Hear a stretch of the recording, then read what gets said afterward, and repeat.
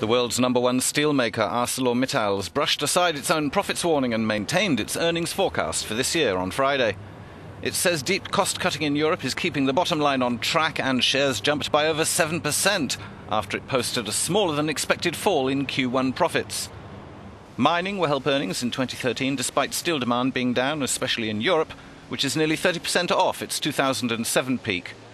Its Canadian iron ore operations expected to boost shipments by 20% this year, but final earnings will depend on price stability.